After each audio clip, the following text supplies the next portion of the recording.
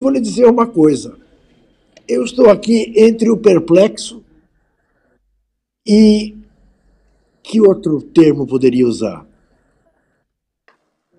Ou não, sei, ou não sei onde é que eu tô. Não tinha essa expressão? É. Eu vou lhe dizer uma coisa, Zé Trajano. Eu hoje estou agradecendo a minha intuição. Porque eu estava na dúvida se eu ia ao estádio ou se eu vinha ao centro de imprensa acompanhar os dois jogos. Estou aqui no mesão, como vocês podem ver, e tem sempre dois enormes monitores, cada um com um jogo. Você fica absolutamente à vontade vendo os dois jogos. E confesso que eu não estava prestando muita atenção no jogo da Espanha. Aquele primeiro tempo, a Espanha com a bola, o Morata fez o gol e tal. Quando o Japão empatou, eu falei, nossa, mãe, agora vai levar um cacete por essa. por essa. por ser metido, né? Pela ousadia de empatar o jogo. E aí acontece aquele segundo gol maluco que você ficou na dúvida se a bola tinha, tinha saído não tinha saído, não saiu. E a partir daí, vamos combinar, o tic-tac espanhol virou uma caca, né? porque não aconteceu mais nada.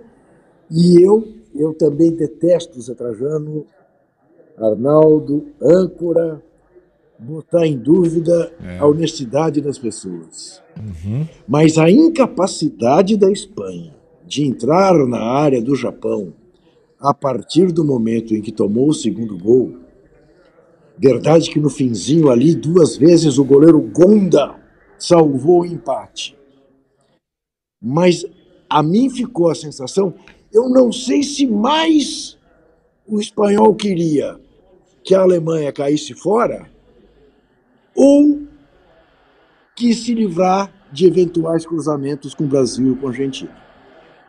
Mas que ficou esquisito, ficou esquisito. Muito esquisito. Ao passo que o jogo da Alemanha, que era o jogo para o qual eu dei preferência, foi um jogo maluco sobre todos os aspectos. Eu contei durante sete minutos e meio, os primeiros sete minutos e meio do primeiro tempo, o time da Costa Rica não pisou uma vez sequer no campo da Alemanha. Quando pisou, o atacante estava impedido. E aí a Alemanha fez o primeiro gol. Parecia que os costarriquenhos iam viver uma noite a Mineirão, a brasileira de 2014. É, primeira arbitragem feminina. Faça favor, não me patrulhe. O problema da arbitragem não é de gênero, é da arbitragem. Houve um escanteio para a Alemanha, a bola saiu um metro e meio, a bandeirinha francesa não viu. Em seguida, o Rudiger sofreu um pênalti, mas um agarrão clamoroso numa cobrança de escanteio. A juíza francesa não viu. E o quarto gol alemão a bandeirinha brasileira quis anular. O VAR foi lá e confirmou. Então, tudo bem. É, igualdade de oportunidades.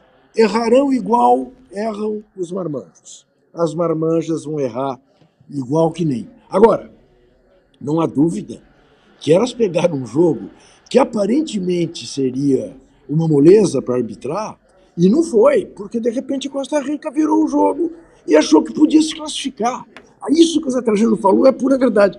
Aqui no centro de imprensa ficou todo mundo enlouquecido.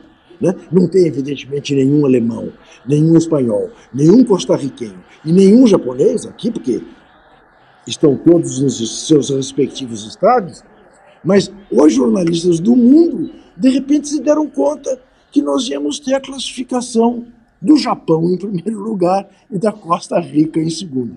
Seria, né? Acabou não sendo inteiro, mas foi, foi pela metade, com o Japão se classificando em primeiro lugar. O Japão, senhoras e senhores, é a Alemanha na Copa do Catar.